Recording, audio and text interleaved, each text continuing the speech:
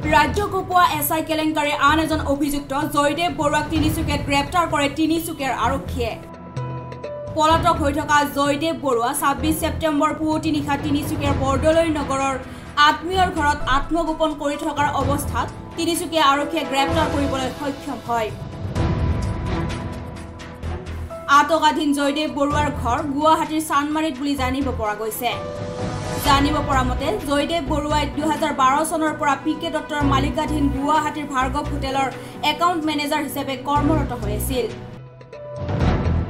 তিনিচুকীয়া আৰক্ষীয়ে C I D ব্ৰাঞ্চক চমজাই দিছে আৰু তিনিচুকীয়াৰ পৰা গুৱাহাটীলৈও লৈ যোৱা হৈছে ধৃত জয়দেৱ বৰুৱাক।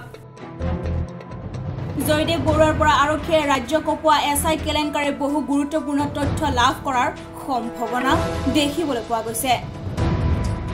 তিনিচুকীয়াৰ পৰা সৌৰভ চৌধুৰীৰ ৰিপৰ্ট ছেভেন ইজ নাও